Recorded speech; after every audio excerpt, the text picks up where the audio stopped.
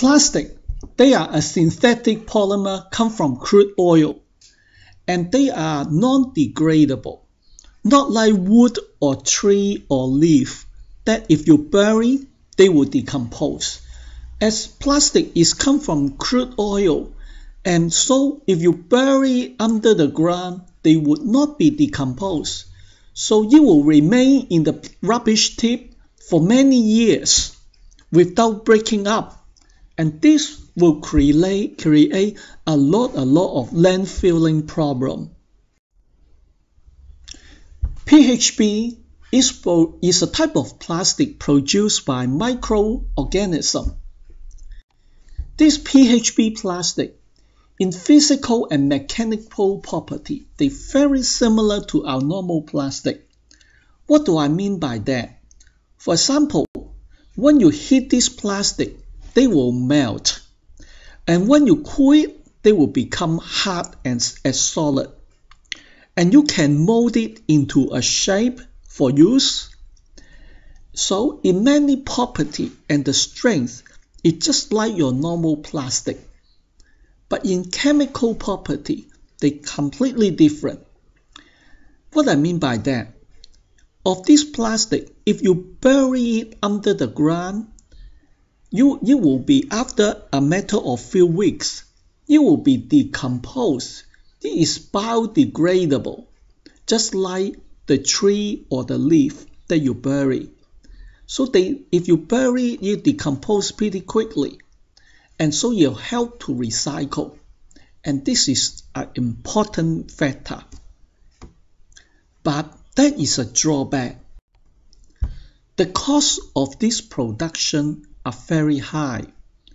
Because on the process you have to breed this bacteria and you and to grow it and that is many process and they all add up to be very costly.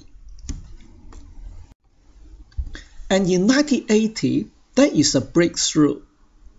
The scientists managed to trans, trans, uh, transfer the phb genes from this bacteria into a fast-growing bacteria, as I show from this picture.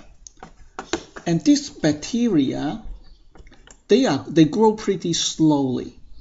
But when you transfer it onto a fast-growing bacteria, for example, E. coli, E. coli, they grow very quick.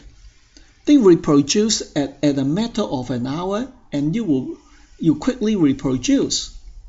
And if you transfer the genes with these plastic producing genes onto the, the descendant, they were all producing plastic. So this successful cloning and transfer into E. coli, this common bacteria, and it helped to reproduce a lot quicker and which helped to reduce the cost of production.